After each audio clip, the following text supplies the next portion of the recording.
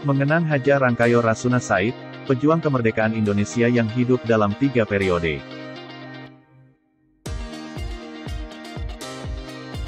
IJ. Rangkayo Rasuna Said, tanggal 14 September tahun 1910 sampai 2 November tahun 1965, adalah seorang pejuang kemerdekaan Indonesia dan pahlawan nasional Indonesia. Seperti Kartini, ia juga memperjuangkan persamaan hak antara laki-laki dan perempuan. Ia dikebumikan di TMP Kalibata, Jakarta. Awal kehidupan Rasuna Said. Pada tahun 1923, ia menjadi asisten pengajar di sekolah Dinia Putri yang baru didirikan, tetapi kembali ke rumah tiga tahun kemudian setelah sekolah itu hancur karena gempa. Setelah itu, ia belajar selama dua tahun di sekolah yang terkait dengan aktivisme politik dan agama, dan menghadiri pidato kepala sekolah tentang nasionalisme dan kemerdekaan Indonesia. Setelah menyelesaikan sekolah dasar, Rasuna Said, seorang remaja, dikirim oleh ayahnya untuk melanjutkan studi di pesantren Ar-Rashidiyah. Rasuna Said kemudian melanjutkan studi di Dinia Putri Padang Panjang, dan bertemu dengan Rahma El Yunusiah, seorang pemimpin gerakan Tawalib.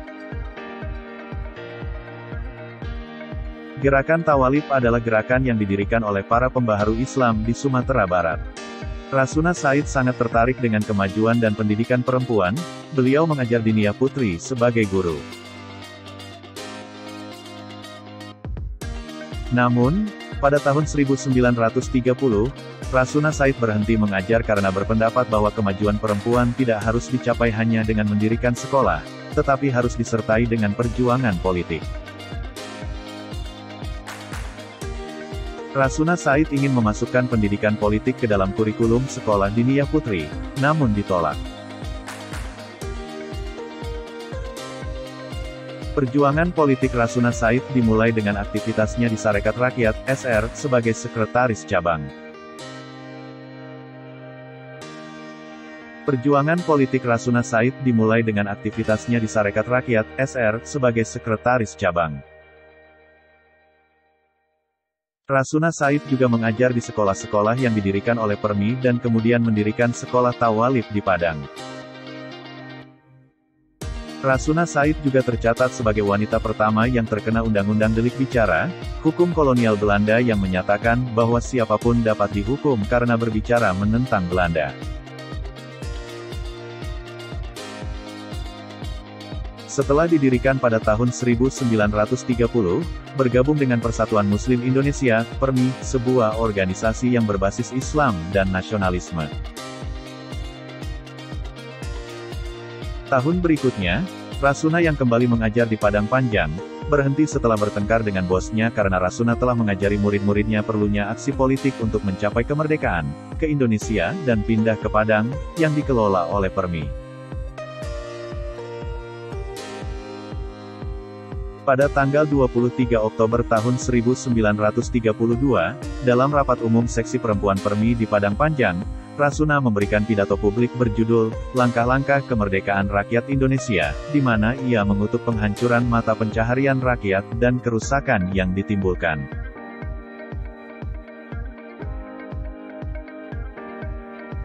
Beberapa minggu kemudian, dalam pidato lain di Payakumbuh kepada ribuan orang, dia mengatakan bahwa adalah kebijakan Permi untuk melihat imperialisme sebagai musuh.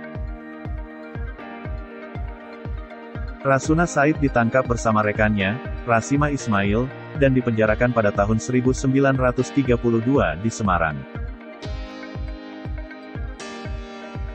Setelah keluar dari penjara, Rasuna Said melanjutkan pendidikan ke perguruan tinggi Islam yang dikelola oleh Kiai Haji Mohtar Yahya dan Dr. Kusuma Atmaja. Surat yang dikirim oleh Rasuna mengindikasikan bahwa manajemen Permi sedang menunggu persidangan. Rasuna dibebaskan dari penjara pada tahun 1934.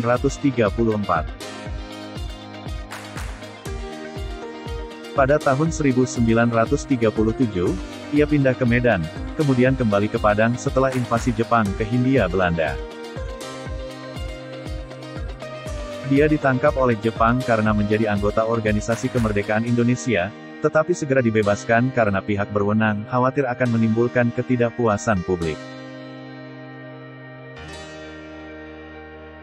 Pada tahun 1943, ia bergabung dengan pasukan sukarelawan Gyugun yang sangat nasionalis yang didirikan Jepang di Sumatera. Rasuna Said dikenal dengan gaya penulisannya yang tajam. Pada tahun 1935, Rasuna menjadi editor sebuah majalah raya. Selama ini pribadi-pribadi Permi yang ingin melawan tindakan kolonialisme ini tidak bisa berbuat apa-apa. Pada tahun 1937, di Medan, Rasuna mendirikan perguruan tinggi wanita.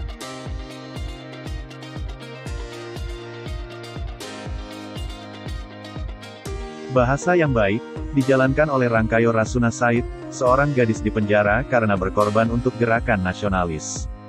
Namun, surat kabar menara tidak bertahan lama.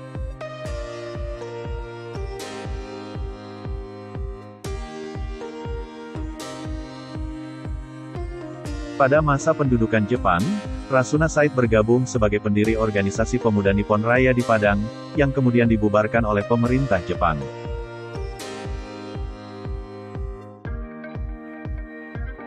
Setelah kemerdekaan Indonesia, Rasuna Said bekerja di Badan Penerangan Pemuda Indonesia dan Komite Nasional Indonesia.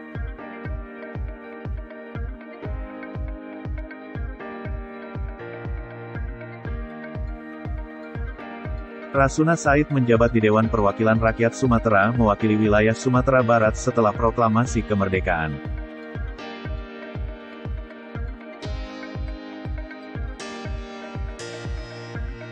Ia diangkat menjadi anggota Dewan Perwakilan Rakyat Republik Indonesia Serikat (DPR RIS) dan kemudian menjadi anggota Dewan Pertimbangan Agung setelah keputusan Presiden tanggal 5 Juli tahun 1959 selama sisa hidupnya.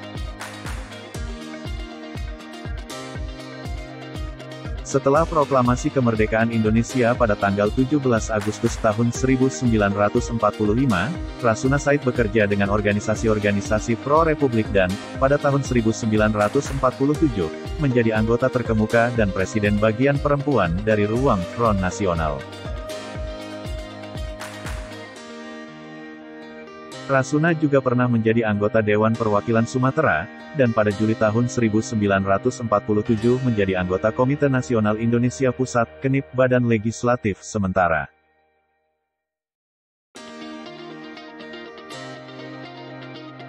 Pada tahun 1950, ia menjadi anggota Dewan Perwakilan Rakyat Sementara. Sebagai seorang Muslim yang taat, Rasuna adalah juru kampanye aktif untuk hak-hak politik dan pendidikan perempuan, percaya bahwa keyakinan reformisnya adalah dasar untuk perlindungan mereka, melindungi perempuan. Ketika dia pindah ke Padang pada tahun 1931, dia kecewa mengetahui bahwa perempuan dikucilkan dari pendidikan dan politik. Pada tahun 1929, Rasuna menikah dengan Duski Samat, seorang guru dan aktivis politik. Mereka memiliki satu anak perempuan, tetapi pernikahan itu berakhir dengan perceraian pada awal 1930-an. Rasuna Said meninggal di Jakarta karena kanker darah pada tanggal 2 November tahun 1965.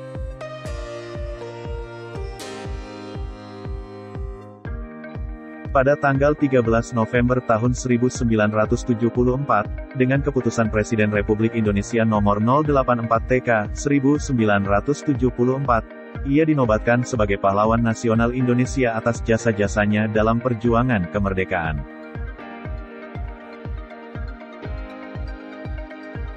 Sebuah jalan utama di Jakarta, Jalan Hari Rasuna Said, Padang dan Payakumbuh dinamai menurut namanya. Terima kasih telah menonton video. Subscribe, like dan share.